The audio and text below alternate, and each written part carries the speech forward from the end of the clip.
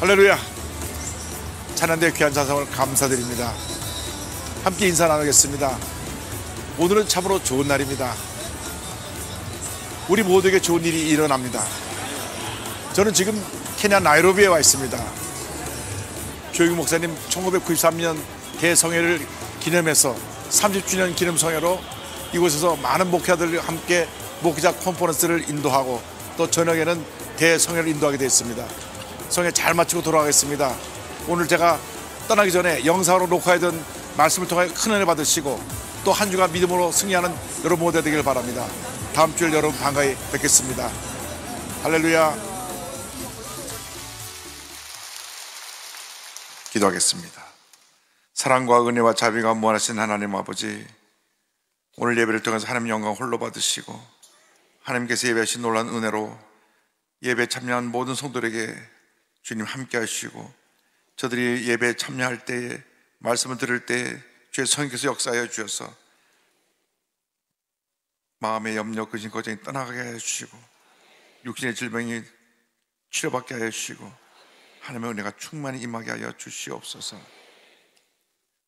이상 모든 사람이 절망을 얘기하지만 우리 주님의 백성들은 늘 주님 안에서 희망을 얘기하게 하시고 약속의 말씀 붙잡고 믿음으로 전진해 나갈 수 있도록 주님 은혜 내려 주옵소서. 예수님의 이름으로 기도 올리옵나이다. 아멘. 오늘 전 여러분과 함께 스가랴 3장 1절로 5절의 말씀을 가지고 고난의 축복이라는 제목으로 함께 말씀의 은혜를 나누기 원합니다. 제목을 한번 크게 따라해 주시기 바랍니다. 고난의 축복. 고난의 축복.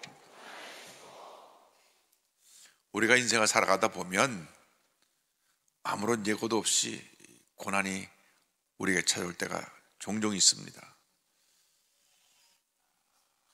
지난 3년 동안 우리가 코로나19라고 하는 고난을 맞아서 큰 고통을 겪었습니다. 경제적으로 어려움을 당하고 또 이 코로나19 전염병에 걸려서 일주씩 격리되어 어떤 분들은 또 그 전염병 후유증으로 몇 달씩 고생을 하면서 힘든 시간을 보냈습니다. 그러나 우리 영적으로 볼 때 이 고난이라고 하는 것은 변장된 축복인 것입니다.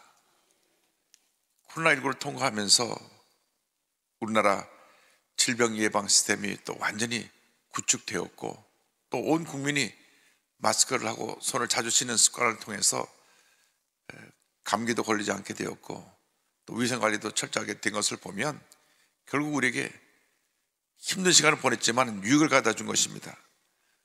고난은 결국 우리에게 유익을 가다 줍니다.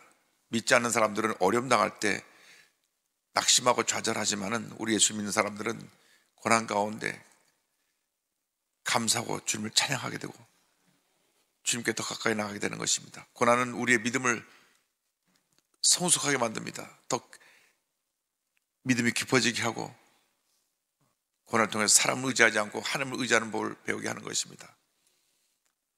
어려움 당할 때 여러분 사람을 찾아다니지 말고 하나님께 엎드려 기도하시기 바랍니다. 어려움 당할 때 내 자신의 문제가 무엇인지를 살펴보고 스스로 하나님 앞에 회개하고 하나님 기뻐하신 모습으로 자신을 변화시킬 때 하나님께서 큰 은혜로 함께 해 주실 것입니다. 그래서 우리가 고난을 당할 때 고난 후에다 볼 주님의 축복을 바라보면서 참고 견디고 인내하면서 모든 어려움을 헤쳐나가는 주님의 귀한 백성들이 다 되시기를 바랍니다. 할렐루야. 오늘 말씀은 특별히 스가라 선자가 환상 가운데서 하늘나라의 법정을 보고 기록한 말씀입니다.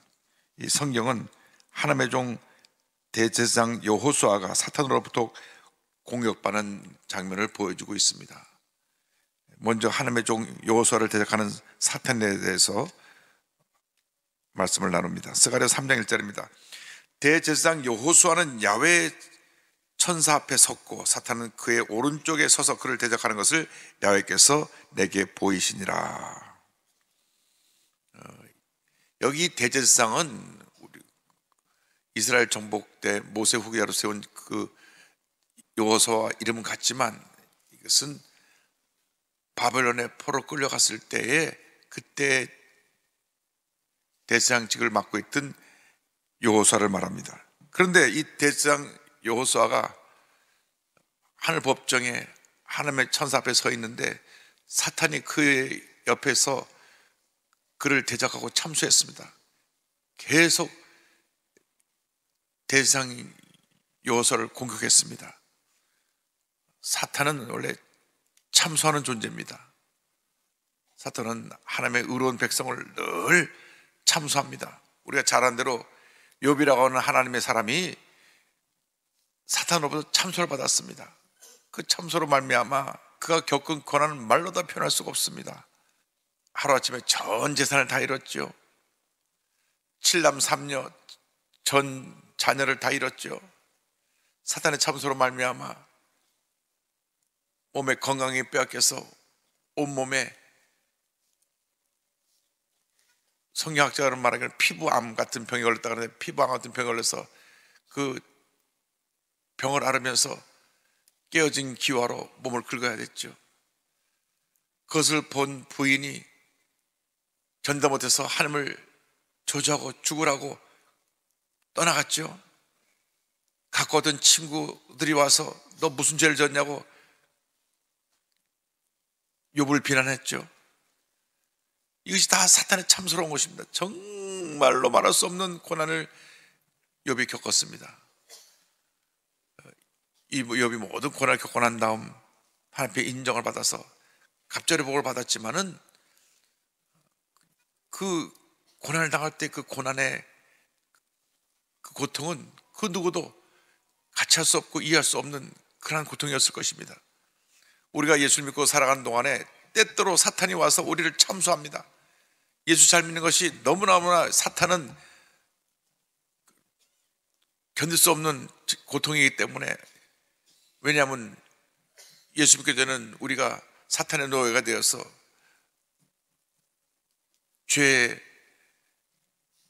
노예로 죄짓고 불의하고 방탕한 삶을 살아가는 것이 그 삶의 모습이었는데 예수 믿고 하나님의 자녀가 되니까 자기의 노예로 부리고 있던 사람이 인간이 자기 곁을 떠나고 나니까 사탄이 공격하기 시작한 것입니다.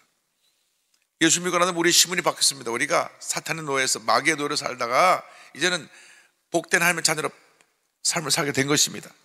그래서 아코논 수박에는 어떻게 하든지 우리를 다시금 하나님께로부터 우리를 빼앗아 와서 다시 애달처럼 자기의 죄 노예로 삼고 우리를 짓밟고 우리에게 고통의 삶을 살게 하기를 원하고 있는 것입니다. 그렇기 때문에 마귀는 끊임없이 참수합니다. 예수 믿는 순간부터 하나라 갈 때까지 계속 우리를 참사하고 우리를 공격합니다. 어떻게든지 우리를 넘어뜨리려고 합니다. 그러므로 우리가 예수 믿고 나서 우리의 마음을 강하게 하고 담대해서 절대로 사탄의 참수에 넘어가면 안 되고 믿음을 지켜야 되는 것입니다. 우리 하나님의 백성들이 때때로 마음이 약해지면 말 한마디 듣고도 낙심하고 누가 뭐라고 우리에게 비난하면 상처를 받습니다. 그 뒤에는 아크론 스마이가 자꾸 이렇게 충동해서 하나님의 사람들에게 상처를 주고 넘어뜨리게 하려고 하는 것입니다. 그래서 우리의 마음을 강하게 담대해서 이 사탄의 기교를 물리쳐야 되는 것입니다. 하나님께서는 하나님의 종 요호수아를 대적하고 참수하는 사탄을 책망하셨습니다. 3장 2절 보니까 야외께서 사탄에게 이르시되 사탄아 야외께서 너를 책망하노라 예루살렘을 택한 야외께서 너를 책망하노라 성경은 말씀합니다. 하나님은 우리를 괴롭히는 사탄을 책망하시는 것입니다. 우리가 힘들고 어려울 때 주님만 믿고 의지하고 바라보고 나가면 하나님께서 사탄을 책망하시고 심판하시고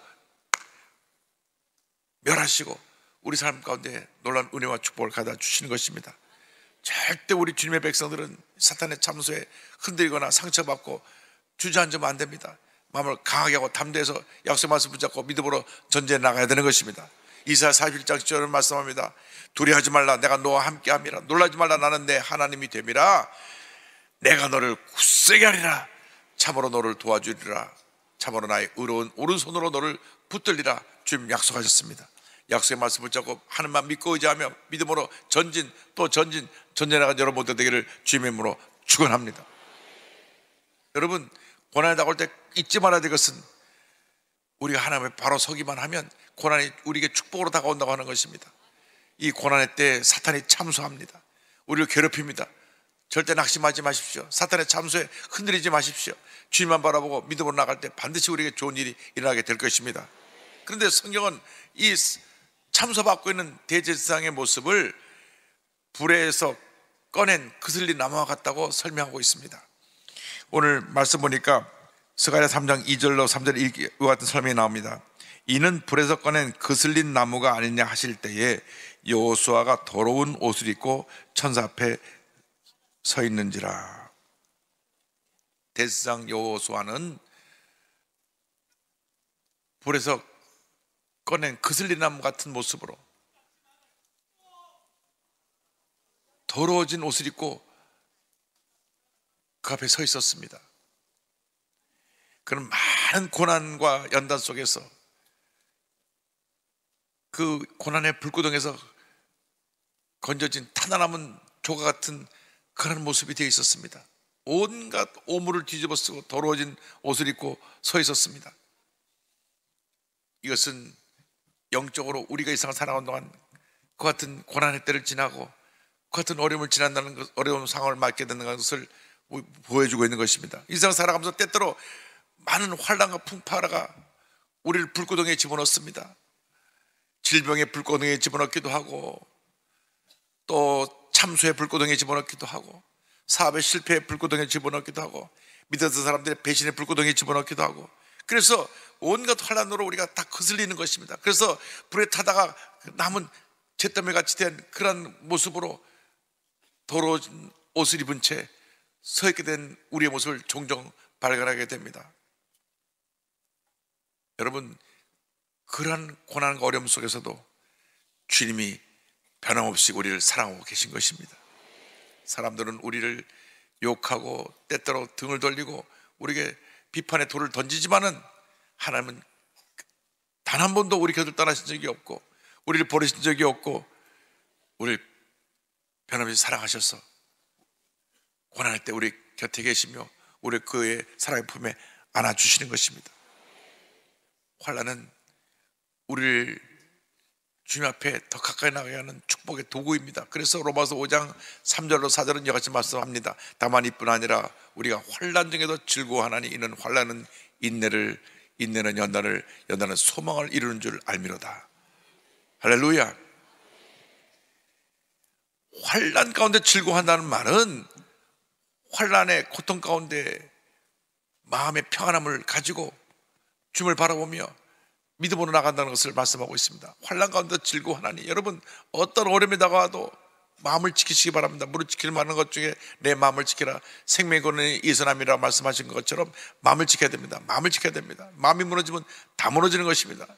요즘 많은 사람들이 마음이 무너지니까 삶을 포기합니다. 우리 예수 믿는 사람들은 어떠한 절망적인 상황에 다가도 마음을 지켜야 됩니다. 그래서 환란을 통하여 우리가 인내를 배우게 되고 인내를 통해서 연단 받아지게 되면 하나님의 은혜 가운데 소망을 이루게 되는 것입니다. 요한의 리가 있습니다. 그런 영국의 대각성 부운동을 일으켰고 전 세계 나의 교구요 나 일트다 외치면서 온 세계를 다니며 복음을 전한 하나님의 귀한 종입니다. 그가 다섯 살 때 집에 불이 났습니다. 온 집안 식구들이 다 불을 피해서 나왔는데 웨슬리는 요한에서는 2층에 자고 있다가 그만 대피하지 못했습니다. 집에 막 불이 나는데 2층 창문에 매달려 있는 가운데 정말 위험한 상황인데 사람들이 무등을 태우고 올라가서 웨슬레를 구했는데 구해내자마자 집이 주저앉아가지고 속에 완전히 사라져 버리고 말았습니다. 죽음 일보 직전에서 하나님이 그를 구하신 것입니다. 그래서 하나님이 너는 불 가운데서 건져낸 하나님의 사람이다. 그래서 요한에서 내가 세계를 다니며 복음을 전할 때 나는 불에서 꺼낸 그슬린 나무입니다 하고 자신을 고백했습니다. 불에서 꺼낸 그슬림 나무 같은 요한 웨슬레를 하나님이 들어쓰셔서 위대한 하나님의 종으로 전 세계 큰 붕괴 운동을 일으킨 하나님의 사람으로 세워 쓰신 것입니다. 그가 50년 동안 말을 타고 다니면서 지구를 10바퀴 이상 도는 거리를 다니며 복음을 전했습니다. 그 바쁜 부흥 일정에 속에서도 200권이 넘는 책을 저술해서 냈고 매일 새벽 4시에 일어나서 그가 주님 주신 은혜 가운데 말씀을 전하는 사역을 했는데 기록을 보면 50이 넘은 나이에도 하루 평균 32km 이상을 다니면서 복음을 전했다고 하는 기록이 나와 있습니다. 여러분 지금처럼 뭐 자동차나 비행이나 편한 교통수단이 없는데 말을 타고 다니면서 온 세계에 다니며 큰 부흥 역사를 일으킨 요한의서를 보면 하나님이 함께하면 놀라운 역사가 일어난다는 것을 우리가 알 수가 있습니다. 우리 모두 불에서 꺼낸 그슬리 나무 같은 존재입니다. 무가치하고 상처 입고 여러 가지 흠 있는 모습의 사람들입니다. 그럼에도 불구하고 하나님께서 우리를 택하여서 오늘 여기까지 오게 하신 것입니다. 요한에슬레가 불에 그슬린 같은 불에서 꺼낸 그슬린 나무 같은 그런 모습인 자기를 통해서 하나님께서 영광을 받으시고 큰 역사를 이루어졌다고 늘 간증한 것처럼 여러분 모두가 불에서 꺼낸 그슬린 나무 같은 존재이지만 하나님의 손에 붙들려서 위대하게 아름답게 귀하게 쓰임받는 주님의 일꾼들이 다 되기를 주님으로 축원합니다. 여러분, 우린 잘할 것이 아무것도 없습니다. 불완전한 존재고 늘 실수하고 넘어지고 또 내 감정 하나 잘 다스리지 못해서 사소한 일에 흥분하고 소리 지르고 다투는 그런 존재들입니다. 그러나 주님이 우리를 붙드시면 불에서 꺼낸 그슬리나무 같은 나라고 할지라도 하나님의 위대한 역사를 이룰 수 있게 되는 것입니다. 우리가 이 세상 살아가는 동안에 중요한 것은 내 뜻대로 사는 것이 아니라 주님의 은혜로 사는 것입니다. 내 뜻대로 살아가면 실수할 수밖에 없고 넘어질 수밖에 없고 좌절할 수밖에 없지만 하나님의 뜻대로 살아가면 하나님의 은혜가 임하고 치료가 임하고 회복이 임하고 하나님의 능력이 임해서 요한의 설례 같이 위대한 하나님의 사람으로 쓰임을 받을 수 있게 되는 것입니다. 이렇게 볼에서 꺼낸 그슬나무 같은 요한의 설을 사용하신 하나님이 우리를 사용하고 계십니다. 오늘 성경 말씀 보니까 그래서 꺼내 그슬나무 같이 된 요고수에게 하나님이 아름다운 옷을 입히시고 정결한 관을 씌우신 것을 알 수 있습니다. 스가랴 3장 4절 5절은 설명합니다. 야훼께서 자기 앞에 선자들에게 명령하사 그 더러운 옷을 벗기라 하시고 또 여호수에게 이르시되 내가 내 죄악을 제거하여 버렸으니 내게 아름다운 옷을 입히리라 하시기로 내가 말하되 정결한 관을 그의 머리에 씌우소서 하매 곧 정결한 관을 그 머리에 씌우며 옷을 입히고 야훼 천사는 곁에 섰더라. 하나님께서 더러운 옷을 다시 아름다운 옷으로 갈아입히신 후에 정결한 관을 머리에 씌워 주셨습니다. 우리가 예수 믿고 나면 죄때 찌든 이 더러운 옷을 벗겨버리시고 예수의 보혈로 씻은 정결한 옷을 입혀주셔서 우리를 변화된 존재로 하나님의 사람으로 세우시고 주님의 뜻을 이루어주시는 것입니다. 그리고 우리의 머리에 아름다운 관을 씌워주셔서 어딜 간지 하나님의 영을 나타내는 주님의 견일꾼으로 우리를 사용하시는 것입니다. 우리가 앞에 나올 때 가장 중요한 것은 하나님과 나와의 관계인데 우리의 죄를 늘 예수의 볼로서 정결함 받고 새롭게 변화받아 위대한 하나님의 사람으로 쓰임받게 되기를 간절히 소원합니다. 이사야 1장 18절은 말씀합니다.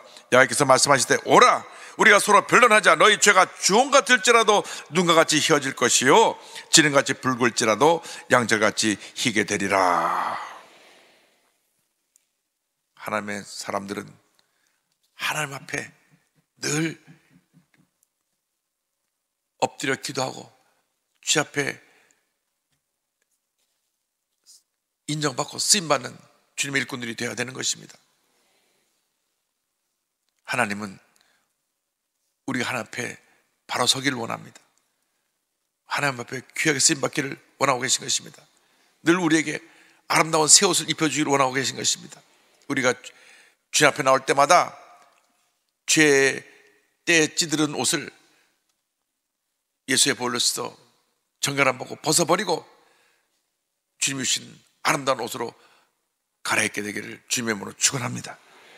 그럼 하나님께서 우리에게 은혜의 옷을 입혀주시고 구원의 옷을 입혀주시고 우리에게 축복의 멸류관을 씌워주실 것입니다. 이사야 61장 10절은 말씀합니다.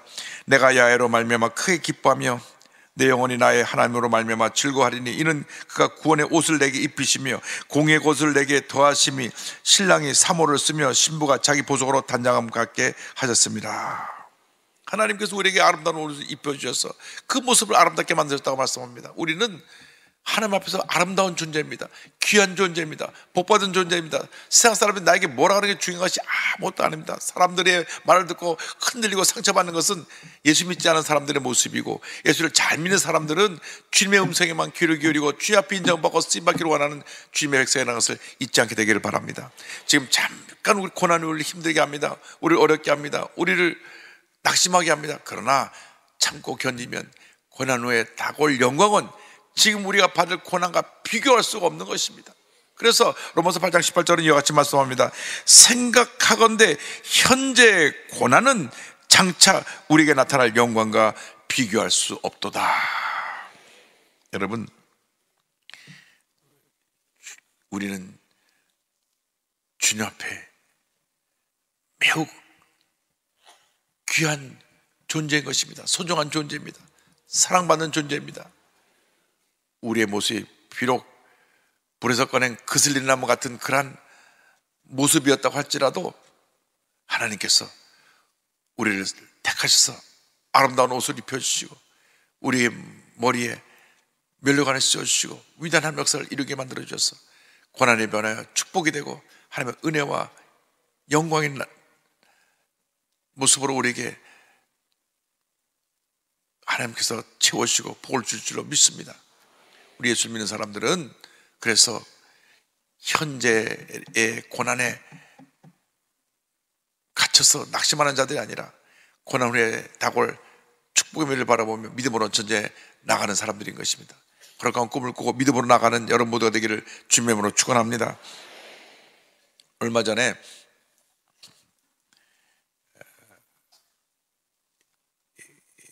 강영호 청가신 강영호 박사님의 사모님 되신 서건옥 여사님이 저희 교회를 방문해서 저와 함께 말씀을 나눈 적이 있습니다. 어, 여러분 잘 아신 대로 우리 강용호 박사님은 예, 중학교 때 축구공을 맞아서 눈을 멀게 되었고 그런 말미암아 어머니가 충격을 받고 돌아가셔서 졸지에 구화가 됩니다. 그때 누나가 그의 손을 붙잡고 대두동 천막교를 찾아갑니다. 소문에 대종에 가면 순복음교회 병을 고치는 죄종이 있다는 얘기를 듣고 그것을 찾아갔습니다. 우리 조영기 전도사님 시절입니다. 조영기 모생께서 나중에 그 말씀을 하시더라고요. 그때 만났던 얘기를 말씀하시는데 어느 날 웬 거지 같은 애를 그, 그 누나가 손을 잡고 왔는데 몰골이 깨지지 하고 옷은 때려찌들었고 완전히 거지 중에 왕거지인데 그 누나가 내 동생 눈뜨게 해달라고 손을 붙잡고 몇 시간을 걸어서 천막교까지 왔는데 그때 그 아이를 보고 했던 말이 야 나도 거지 목사지만 넌 왕거지구나. 그렇게 말했던 것이 기억이 납니다. 정말 그 천막에 정 가난과 어려움으로 힘들었던 그 시대에 가장 불쌍한 한 소년이 온 것입니다. 우리 조익 목사님이 기도를 하고 또 기도를 해줬는데 그때 육신의 눈이 뜬 것이 아니라 영의 눈이 떴습니다. 앞을 못 보지 못하는 맹인이었던 그가 영의 눈을 뜨고 예수님 안에서 그러니까 꿈과 희망을 갖게 된 것입니다. 그래서 이 고아 이 강영호가 하나님의 가운데 미국 가서 박사를 받고 난 다음 한국인 최초로 미국 백악관 차관보 자리에 올라서 7년 동안 그 미국 장애인 정책 전체를 책임 맡아 지는 장애인 정책 책임자로서 일을 했고 그 위치에서 그 일을 하도록 모든 것을 도왔던 분이 서건호 교사입니다. 서건호 교사는 1942년에 무남동해로 태어나서 서울 사대부고를 졸업하고 숙명여대 교육과를 졸업합니다. 그리고 미국 펜실바니아 특수교육청에서 맹인 보행교사 자격증을 취득하여 교육하고 성모병원에서 맹인 점자, 녹음 도서실 근무, 천호동 맹인 재활원 부서장으로 맹인 사랑의 삶을 일관했던 그러한 귀한 여성입니다. 그런데 그녀의 이어왔던 헌적인 봉사 사랑 일생은 대학 입학 후 시각장애인 강영호 박사의 만남으로부터 시작됩니다. 소년 강영호는 서울 맹학교를 다니고 있었는데 우리 서건호 여사는 당시 그 학교에 봉사 나온 봉사 자원봉사 여대생이었습니다. 그때 소년 강영호의 슬픈 사연을 듣고 부모 없는 고아여 공연 눈을 맞아서 앞을 못 보게 됐는데 누님도 돌아가시고 혼자 남겼다는 걸 알게 되고 나서 하나님께 기도했습니다. 이 맹인 소년을 위해 무엇을 할 수 있는지요? 하나님 지혜를 주세요. 힘을 주세요. 기도할 때 그 마음에 성령님께서 말씀하셨습니다. 내가 영웅의 누나 역할을 해주면 된다. 너는 형제도 없으니 좋은 기회란다. 그렇게 마음에 감동을 주셨습니다. 그래서 부모님과 제가 이렇게 불쌍한 아이가 있는데 돌봐줘야 되겠습니다. 그래, 네가 누나가 돼서 도와줘라. 그래서 매 주말마다 맹학교를 방문해서 이 강영호 학생을 돌봅니다. 6년간을 친남매처럼 지나는 가운데 나이가 들면서 사랑이 싹 트고 이 강영호 박사가 연대를 졸업하고 난 다음 미국에 유학을 가게 될 때 결혼해서 미국에 유학을 갑니다. 그래서 한국인 최초로 시각장애인 박사학위를 취득하고 미국 백악관 국가장애위원회 정책 차관보를 역임했고 유엔 세계 장애위원회 부의장 겸 루즈벨트 대단 고문을, 고문을 역임하면서 세계 장애인 복지 향상을 위해 헌신한 하나님의 귀한 종이 되었습니다. 그런데 2012년 몸의 상태가 안 좋아서 병원 와서 확인해 보니까 췌장암입니다. 의사가 앞으로 두 달 정도밖에 살 날이 남지 않았다고 얘기를 해 주었습니다. 그때 언제나 나의 어둠을 밝혀주는 촛불이라고 부르던 아내에게 마지막으로 편지를 남깁니다. 사랑합니다. 사랑합니다. 사랑합니다. 그리고 고마웠습니다. 이렇게 평생 동안 자기를 도왔던 아내에게 사랑의 편지를 남기고 2012년 68세로 그 삶을 마감하고 하나님의 품에 안겼습니다. 남편이 죽고 난 다음 서건욱 여사는 강영우 장학재단을 만들어서 시각장애 학생을 위한 장학 사업을 계속 펼쳐나가고 있습니다.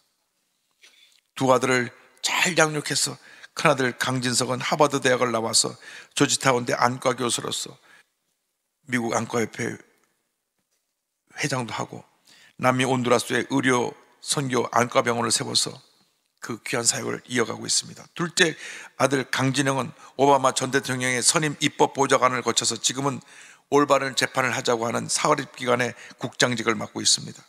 이렇게 80평생 살아온 서건우 요새의 삶에 대한 그 공을 기리면서 적자 인도상, 미 오바마 대통령 봉사상, 한민문화재단의 장한 어머니상, 장한스러운 자랑스러운 한인 미주상 등 많은 상을 시상하기도 했습니다. 작년에 강효호 박사 10주기 추모 기념과 더불어서 자전적 에세이를 출간합니다. 그 책에 이런 글이 남겨져 있습니다. 나는 남편이 맹인이기 때문에 불행하다고 생각해 본 적이 한 번도 없었습니다. 나의 인생을 180도로 돌려준 만남의 인연은 하나님의 인도하심이었으며 축복이었습니다. 시력을 잃고 고아가 된 서울의 맹학교 학생, 중학교 교복을 입은 맹인 소년 강영우와의 만남과 만 50년을 함께한 삶은 정말 행복했습니다. 하나님을 사랑하는 자, 그의 뜻대로 부르심을 입은 자들에게는 모든 것이 합력과 선을 이루느니라 그 말씀대로 순종하여 넘치는 축복을 받았음을 간증합니다. 저에게 서건옥 주만 따라간 삶 이 책을 남기고 가셨는데요. 제게 책을 읽으면서 너무나 많은 감동을 받았습니다.